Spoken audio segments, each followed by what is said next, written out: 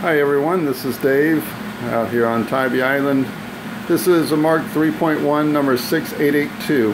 I haven't done a video uh, for quite a while, haven't added to my build thread for quite a while. I haven't added to my blog for a while because you know how these things just add up and they take time so I thought I'd do a quick video just to kind of show the progress of the build um, as it is right now. So I'm not going to be able to remember everything, but a couple of the obvious things. Did the passenger footbox expansion. I used some aluminum from work uh, that was extra scrap and, and uh, made that expansion, painted it black. I'm going to paint the interior of the um, engine bay, I suppose is what you call it, black. I had the uh, shiny um, diamond plate firewall, which I've decided to turn it into a, a matte black. So I uh, scuffed it up, sanded it down, and then uh, have painted it.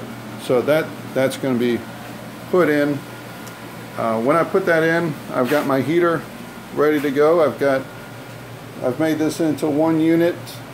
Uh, this plenum here will this will back up against the firewall and um, this will allow me to have everything behind the firewall like I was wanting. I'm going to go with the competition dash. Kind of looking right now about what to have on the dash and I have a whiteboard up here with some items that I'm looking for to have on the dash and maybe behind and underneath uh, these are some things that I wrote just today, things I need to do. Uh, let's see, looking at the back,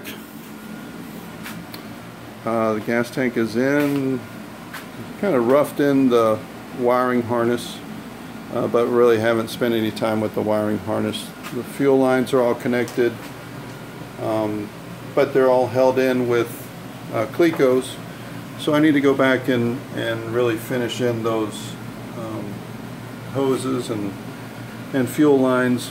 Also with the brake lines. The brake lines are in, but they're also held in with Clecos. Uh, the battery is going to be under the floor. Uh, we'll be able to pull it out with this strap. I've also got the connects here, remote connects for charging. Uh, let's see, I've decided not to do the um, gas tank cover, the plastic cover underneath.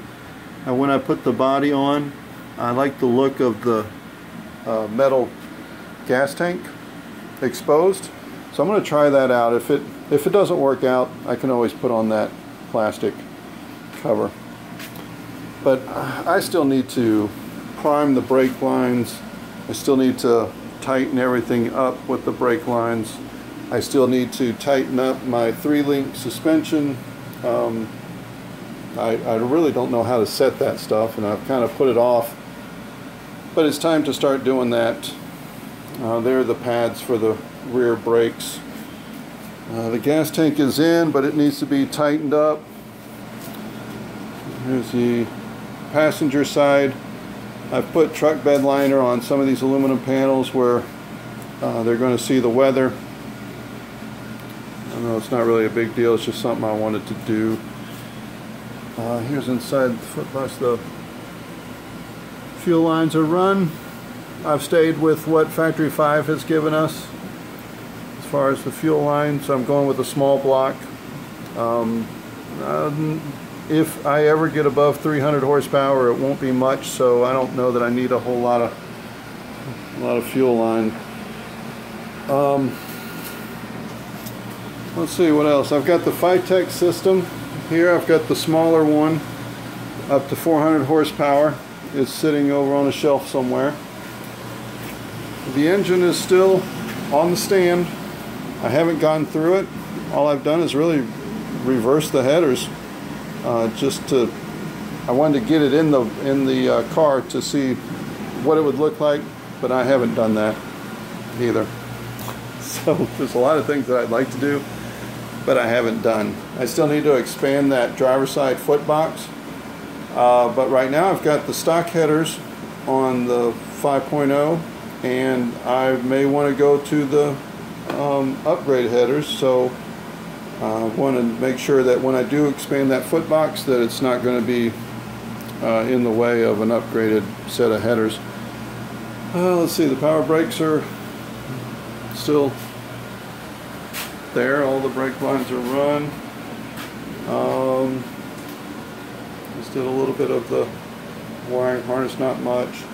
I'm going to put the brake reservoirs up here on the firewall. So the hoses are ready for that. Um, I'm going to cut a pass through in the uh, rear cabin here. Still need to do that. Uh, emergency brake needs to be put in. I really don't know what I'm going to do about that. I don't really have those parts. So that's just kind of a, a summary of where I'm at right now and uh, what's been going on. Just a little bit here and there. Don't have a whole lot of uh, time in large blocks. So um, it's, I guess I've been a little frustrated with that, but you know, I, I guess it's not a race, but I, am ready to get things done and um, hear it. But I'm trying to be patient. All the alignment needs to be done. Nothing's tightened up there. The tie rods are still loose. Well, that's essentially it. So, it's coming along. It'll be done one day. See ya.